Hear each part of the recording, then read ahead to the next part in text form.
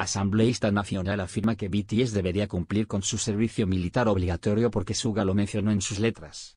El 7 de octubre, los miembros del Comité de Defensa Nacional de la Asamblea Nacional de Corea del Sur se reunieron con el comisionado Lee Ki-sik de la Administración de Recursos Humanos Militares para discutir el tema del servicio militar obligatorio para el grupo de chicos BTS.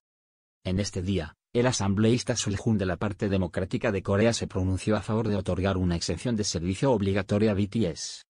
El asambleísta le preguntó al comisionado Lee Ki-sik, comisionado, ¿conoce a The Beatles?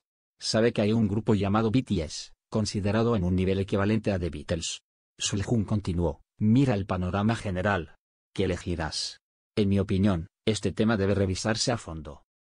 Necesitamos considerar qué es lo mejor para la República de Corea. Si pensamos en la gran influencia que BTS ha tenido en Corea y en todo el mundo, podemos ver que este grupo ya ha contribuido mucho más en términos de influencia para Corea del Sur, más de lo que contribuirían a través de aproximadamente dos años de servicio militar obligatorio. No se puede negar que BTS desempeñó el papel número uno en hacer que Corea del Sur sea conocida en todo el mundo hoy en día. Si BTS se disolviera, eso en sí mismo es la mayor pérdida para Corea del Sur. Parece que para fines de este año, dos miembros tendrán que detener sus actividades de BTS.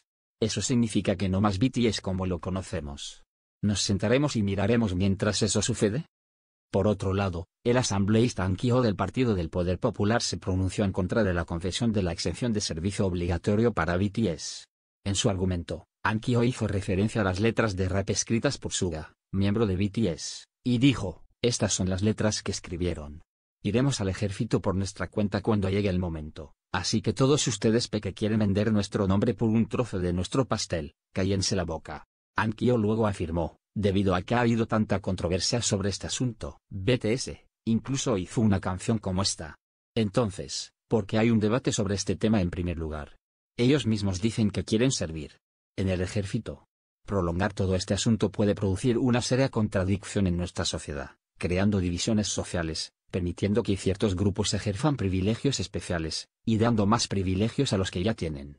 Mientras tanto, también se le pidió al comisionado Lekisik de la Administración de Recursos Humanos Militares que compartiera sus pensamientos sobre el tema. Observó, actualmente hay una disminución en el número de voluntarios que desean servir en las Fuerzas Armadas. Sin mencionar que la parte más importante del servicio militar obligatorio es la equidad y la justicia. En ese sentido, creo que será deseable para que BTS lleve a cabo sus deberes obligatorios. El comisionado también declaró durante esta sesión, en respuesta a la disminución en el número de jóvenes que desean ser voluntarios para las Fuerzas Armadas, planeamos reducir el servicio alternativo y los roles de servicio público. Estos roles también se reducirán para las figuras en el Bellas Artes y Música.